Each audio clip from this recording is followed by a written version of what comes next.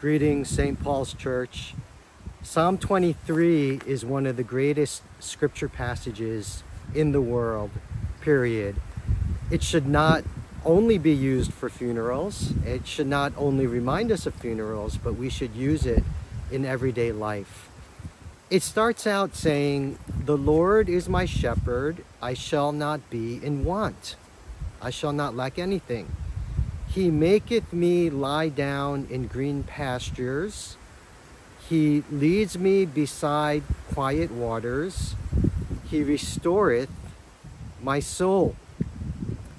I have a confession. Uh, I'm not a smart person. Um, this past week, I had to go to a conference in Boston. And uh, because I had to pay for this conference, I was on the fence but it was for my, my day job and I really should go. So uh, I decided to go and I stayed in a campsite so I didn't have to, did not have to pay for a hotel. And I thought to myself, if I'm gonna drive all the way to Boston, when this conference ends, I might as well drive just a little bit further and go to a place that I've been dreaming of going for decades, place I've never been to. And in my mind, it seemed like a good idea, and that place is here. I am at Acadia National Park.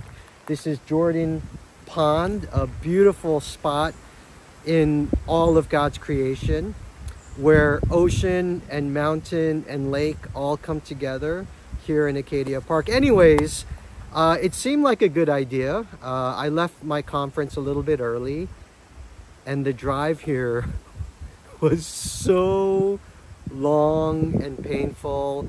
I got here late last night, pulled into my campsite, pitch dark, and man, it was tough. There's a reason why people don't come here all the time. It's hard to get here. Uh, I have to get back home, so I woke up at about 4 a.m. this morning, got ready, toured the park. Um, I'm about to pack up and go. And uh, I have to say, this place is beautiful. Um, will I come back? I don't know. It's so far. It's so hard to get here. But it reminded me of Psalm 23. I know it's a metaphor for life, but let's think about what it's saying um, physically. God is my shepherd, and he makes me lie down in green pastures. He leads me beside still and quiet waters, and he restores my soul.